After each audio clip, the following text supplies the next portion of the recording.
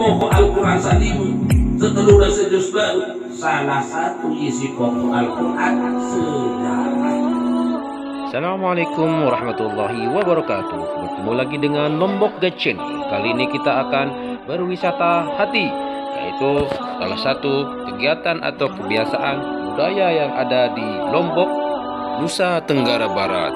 Sahabat Lombok Gacin Salah satu budaya Lombok Jika ada warga atau masyarakat yang meninggal dunia Yaitu berupa zikiran, tahlilan, yasinan, dan doa yang dilaksanakan dari malam pertama sampai 9 malam guys. Maka di tempat teman-teman sahabat Lombok Guide Channel sama dengan kami bisa komen di kolom komentar ya.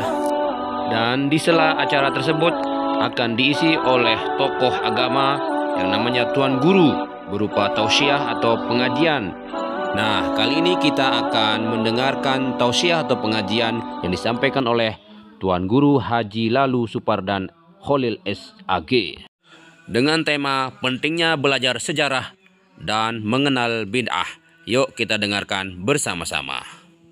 Tetap bersama Lombok Kecil. belajar sejarah perlu ngaji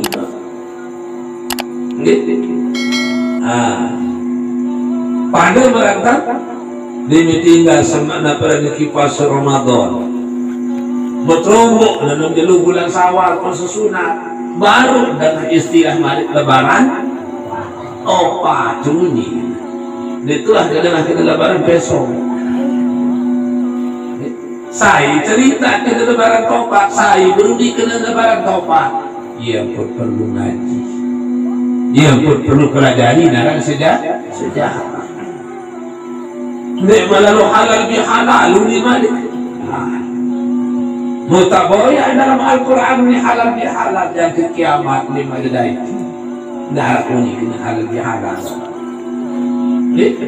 Saya beruni kena halal bihalal Ya, aku perlu? Nak pergi ngaji.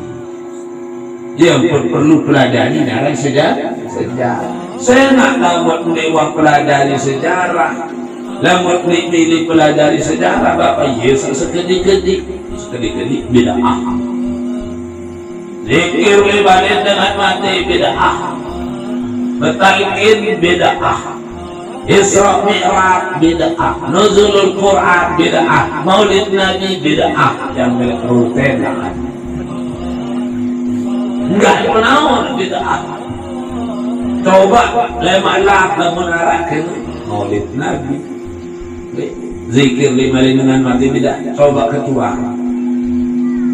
Kamu wah matun di baca Quran Kena kena bid'ah ni Betalkin di kamu. Zikir dibanding dengan mati di kamu bila aku ni. Coba ketua anak ni sekena bila aku wah matun di baca Quran. Lamun rumah ada uni. Pada dari kamu masih bila aku gawe unit kena gawe bila aku dari zaman Rasulullah dinara Al-Quran kan sampai baca lagi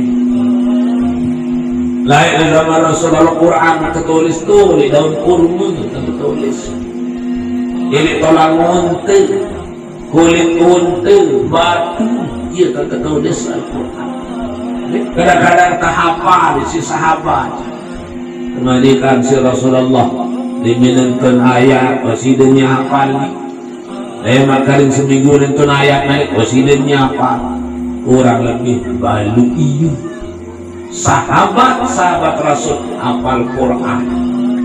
Masih beganya Al-Quran lah di mana sama makin berbuku Al-Quran lain ini satu petunjuk Rasulullah nikmat berdua telok bak pada dua kaca tak pada dua kaca sak jin pada dua kaca hak dan pada ruang kata roh pada ruang kata zahir begitu seterusnya. Nikmat berdui baris. Okay? lamun dia tahu ilmu nahu sorob dan dia tahu baca Quran nah ninggal Rasulullah masih bergelanya Al-Quran. Ini daun kurma tolak monte kulit untuk batu. Terganti isi Khalifah Abu Bakar. Tetap Al-Quran masih berada meninggal Abu Bakar terganti si Khalifah Umar. Tetap masih. Al-Quran masih berada ini tangan-tangan sahabat dia tahu Al-Quran. Nah, begitu meninggal Khalifah Osman Umar ngadek Sayyidina Utsman bin Affan. Nah ia berdua pendapat. Khalifah Utsman bin Affan lah mikir lah nanin tayak ni pesukuun Al-Quran yang sekek. Marmodel buku. Dua ribu tahun yang akan datang dinarak sekek-sekek dengan yang tahu baca Quran. Kembali wabi telah saat tertulis di daun kurma wabi tekakan si temerini saat tertulis di tulang muntik wah kepelai si aco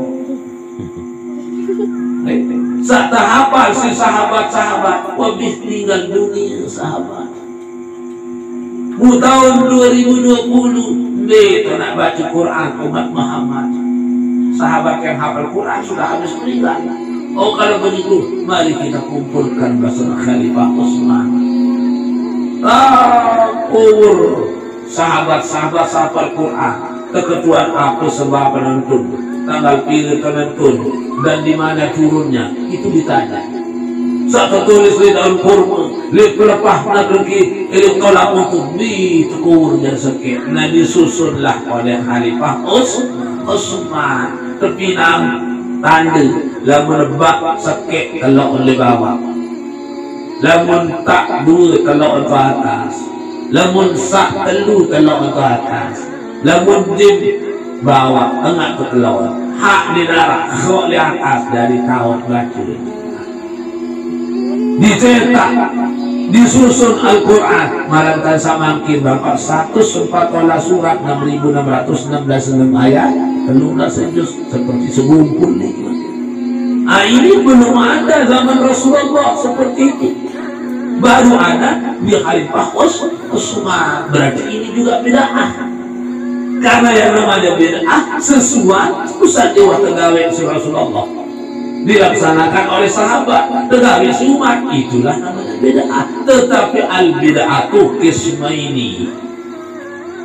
Dasar bid'ah itu dua bid'atul hasanah wa bid'atus sayyi'ah tidak selamanya bid'ah itu haram kafir. Nah mau pelajari sejarah ya ampun seketika ini bid'ah. Nah, dan juga Al-Quran ayat pertama kali terpentunan si nenek arah lima ayat yang pertama kali turun. Arah li, lima, lima. Kembali. Iqra bismi rabbikal ladzi khalaq khalaqal insana min 'alaq. Iqra wa rabbukal akram alladzi 'allama bil kalam 'allamal insana ma lam ya'lam Kenapa lima ayat? Isi pokok Al-Quran sekelumda sejus satu sempatola surat 6616 ayat isi pokok arah lima. Alam saya dari arah lima. Ini isi pokok Al-Quran salimu. Setelah sejus baru salah satu isi pokok Al-Quran sejarah.